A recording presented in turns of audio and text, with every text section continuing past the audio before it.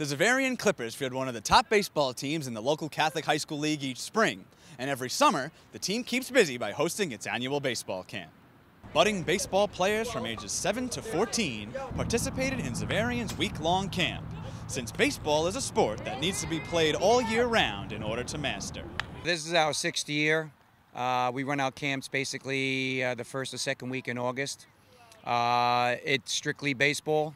It's serious baseball okay? And um, we stress fundamentals. Uh, kids have a lot of fun. We go from 9 in the morning to 3 in the afternoon. We take an hour break for lunch. And basically, it's just to really show them the Xaverian way of playing baseball. Current and former members of the Xaverian varsity baseball team served as camp counselors, which also kept their skills sharp for the upcoming season. At my four years as Xaverian, I mostly played the infield. So you know we're working on getting the kids quick with quick hands, getting to the getting to the baseball quickly. Um, you know, having a quick transfer and getting rid of the ball as fast as you can. I of course remember my summers in baseball camp. We would go over drills in the morning and then test out those new skills in the afternoon. And that was exactly Xaverian's setup. The Xaverian teams are always schooled in the fundamentals of the game, so the campers were sure to pay attention to their counselors. We do uh, uh, dynamic stretching, and then we get into throwing. We talk about throwing skills and a proper way of throwing to make sure that they maintain uh, safety with their arms. Uh, in the morning from 9 to 12 is all basic fundamentals. We, we talk about base running.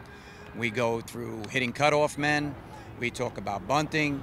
We talk about any type of uh, defensive facet to the game. When I'm fielding a ground ball at the triangle, you keep your glove in front of your chest and you like you, you pretend that you're knocking someone in the face like that. So then you like bring the glove up and you throw. A handful of the older campers will be trying out for the Clippers team in the spring.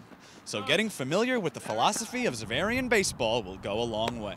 It really helps. It gets you to like know most of the kids that are trying out, like what it feels like to play on the team, like how the coach's perspective, and getting like to know them.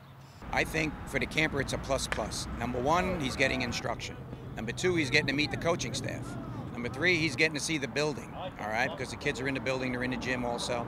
So they're really getting a, a really good look at Xaverian. So if, uh, if Xaverian is going to be in their future, there's no better way than to come to their baseball camp, especially if you're going to play baseball, to find out what it's all about. The Xaverian summer camp once again drove home an essential point about baseball. While being competitive is important, the game is all about having fun. Reporting for Currents, I'm Jim Mancari.